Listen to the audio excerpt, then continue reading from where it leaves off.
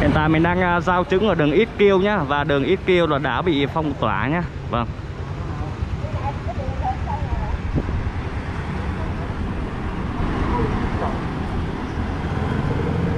Nên là mình không thể giao trứng đường Ít Kiêu được. Vâng chào chào cho tôi à, mến chào cả nhà. Thì chiều hôm nay đã là chiều ngày mùng 9 tháng 8 rồi. Và như các bạn có thể thấy là bầu trời đang nổi những cơn rông. Có thể tối nay là sẽ gió. Mà có thể gió là kèm theo mưa. Mà đã mưa là phải có nước. Mà đã có nước là chúng ta là phải biết bơi.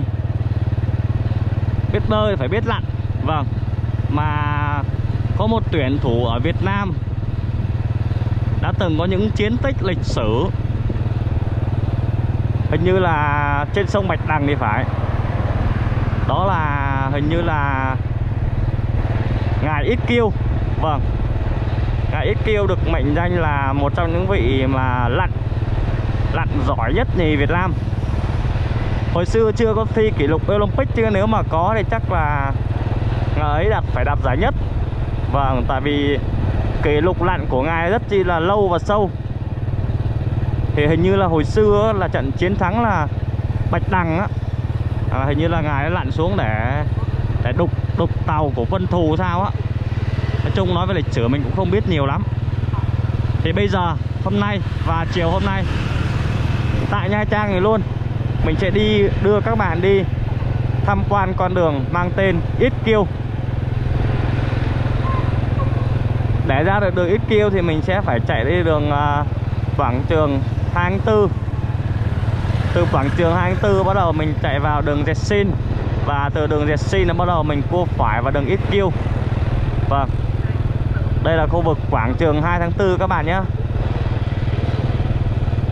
Quảng trường 2 tháng 4 chiều ngày mùng 9 tháng 8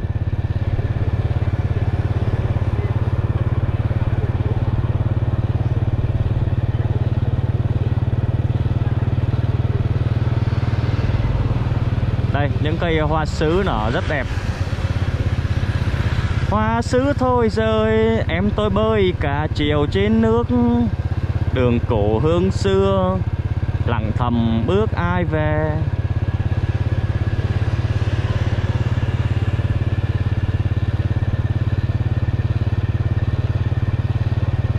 Vâng bầu trời nó âm u cho nên là nhìn không cảnh nó hơi bị điều hưu các bạn ơi. Hơi bị điều hưu dạ. yeah.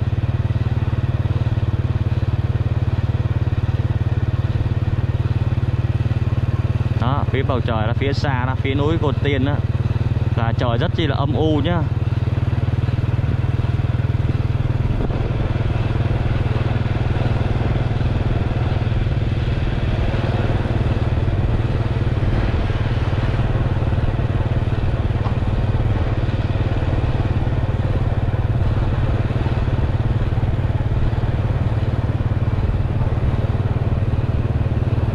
Ngoài khơi xa là đang có mưa rồi các bạn nhá. Khả năng là ở ngoài uh, khu vực biển đảo ngoài xa xa kìa là đang có mưa rồi. Tại vì bây giờ mình chạy ngoài đường là thấy người nó hơi lạnh lạnh rồi nhá.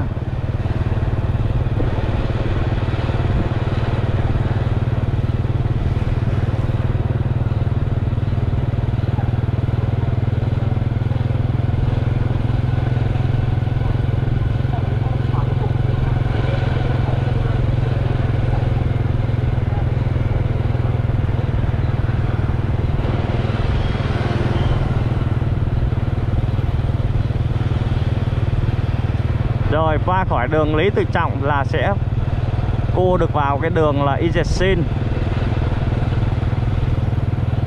Đó. Các bạn để ý những lá dừa, Những lá dừa đang rất chi là gió nhá.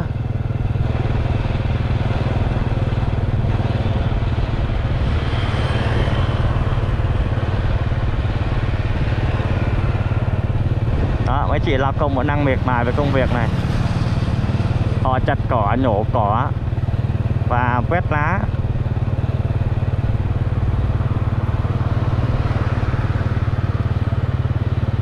Đó cái chị bên tay phải chúng ta thì đang tưới cây.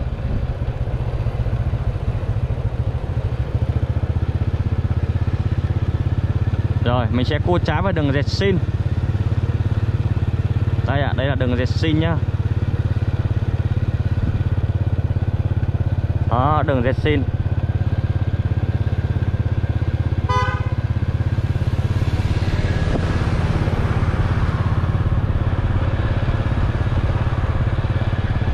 Các bạn có để ý là người dân ở miền trong này này Và đặc biệt là người Nha Trang Họ đi ô tô họ rất khi là ít bóp còi. Chỉ bóp còi ở những trường hợp nào đặc biệt Không giống như kiểu ngoài Bắc mình. Ngoài Bắc mình là hay đi và hay bóp còi Hay thể hiện ta đây có xe. Trong này họ ít khi bóp lắm. Chỉ bóp vào những trường hợp đặc biệt thôi. Và người ta cũng không độ, không chế còi mấy. Trường hợp độ chế còi là những xe Bắc Nam mà hay độ chế còi Bóp inh ỏi. Nhất là những người lớn tuổi họ đang đi ngoài đường Mà chạy như thế là nó rất chi là nguy hiểm Đang đi bóp còi keng phát giật mình. Đó hiện tại mình đang ờ, đứng ở xanh đỏ Chessin và Hoàng Hoa Thám. Đoạn này tập trung khá là đông người.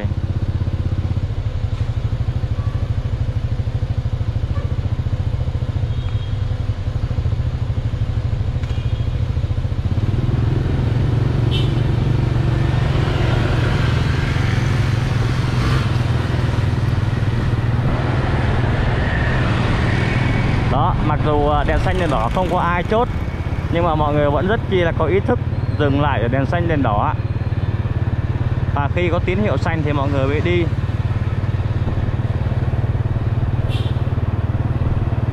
Ở trong à, này mọi người rất khi là ít khi mà vượt đèn xanh đèn đỏ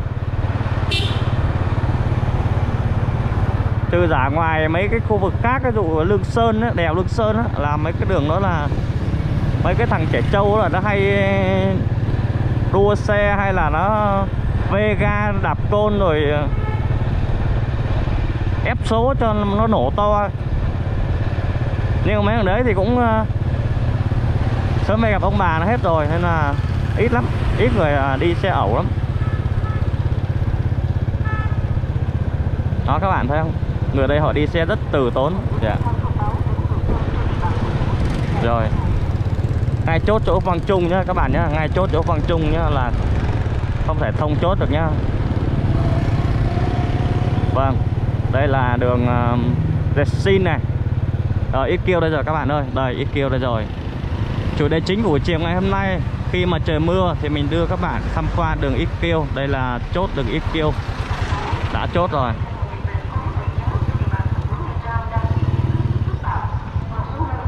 Con gửi đồ cho khách. Hiện tại mình đang à, giao trứng ở đường Ít kêu nhá. Và đường Ít kêu là đã bị phong tỏa nhá. Vâng.